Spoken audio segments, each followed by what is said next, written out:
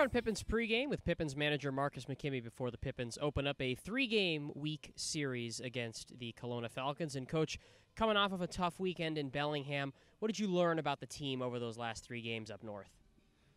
Well, we, we, I didn't learn this, but we realized, you know, that injuries are unexpected, you know, and then when that happens, that like in life, uh, especially in baseball, it's how you deal with deal with adversity and things that sometimes are outside your control. And, and what's great about the game is you got to just keep playing, and, and that's what, where we're at in the middle of a, you know, nine game stretch in nine days. You talk about it, some injuries, some old guys getting shuffled out, some new guys getting shuffled in. You think maybe that'll have some sort of positive effect, particularly on the offense, getting some new bodies in the lineup on the, this this homestand?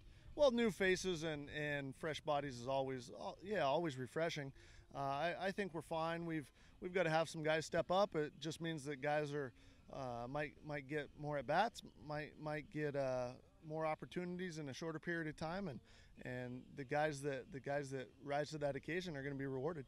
One guy that seems to be rising to the occasion recently, the guy that gets the start on the mound today, Mark Wanoravich. You've seen him come out of the bullpen. He had that good five inning stint last week. What are you looking to see out of him in his first real starting role? He's only started one game in college, too, over two years. Yeah, Mark. Mark's got a got a plan. He he's a competitor. He's not afraid.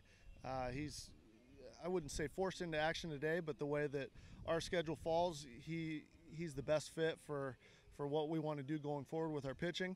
We, we're confident that uh, what he's going to bring to the table and, and hopefully set the stage for the guys at, at the, in the middle and the back end to uh, give us a chance to win today.